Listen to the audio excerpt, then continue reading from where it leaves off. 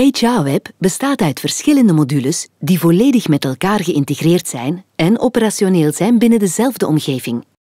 HR-Web laat toe het volledige medewerkersleven te beheren in het systeem. Een sollicitant kan gemakkelijk van thuis uit reageren op een openstaande vacature. De HR-medewerker krijgt de gegevens binnen en kan de kandidaat direct koppelen aan de openstaande vacature binnen HR-Web. Via HR-Web verstuurt de HR-medewerker een mail naar de potentiële kandidaten met een uitnodiging tot gesprek. Eens men een kandidaat aanwerft, staan de gegevens van de nieuwe medewerker al in het systeem.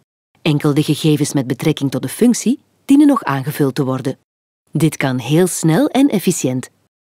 Eens de gegevens zijn ingevuld, kan het contract worden gegenereerd door één druk op de knop en worden de gegevens naar het Sociaal Secretariaat verzonden.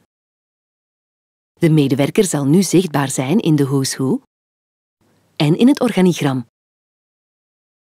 De medewerker kan zelf zijn timesheets invullen en beheren. Naast de timesheets kan de medewerker ook zelf zijn verlofsaldo bekijken en verlof aanvragen. Door middel van een eenvoudige goedkeuringsworkflow krijgt de medewerker een signaal of zijn verlof al dan niet is goedgekeurd. Na het bepalen van objectieven is het eveneens belangrijk na te kijken of deze werden gehaald. Medewerkers kunnen in HR-Web een evaluatie invullen. Op deze manier kan worden geregistreerd of de medewerker al dan niet het vereiste niveau en de vooropgestelde doelstellingen heeft behaald. Vanuit de evaluatie is het mogelijk binnen HR-Web de medewerker in te schrijven voor een opleiding. De medewerker kan zichzelf inschrijven door te kiezen uit de beschikbare opleidingscatalogus of kan worden ingeschreven door de HR-medewerker. Op deze manier kan er zeer snel worden ingespeeld op zwaktes en beperkingen van de medewerkers, wat ten goede komt aan de werking van de organisatie. Na het volgen van de opleiding kan er een nieuwe evaluatie worden gelanceerd.